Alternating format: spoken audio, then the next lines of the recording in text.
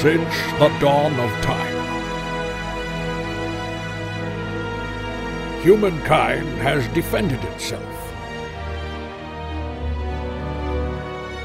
through the ancient art of tower defense.